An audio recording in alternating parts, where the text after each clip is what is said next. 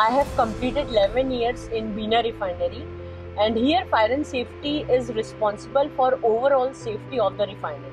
Here we are trying to cultivate and sustain the safety culture through operational discipline and process safety management.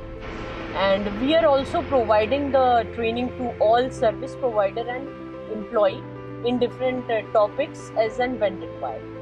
We are having the different type of upgraded system like HVLR system, fire protection systems in our refinery and work permit system, process safety management. And for this, we are trying to improve safety at high levels.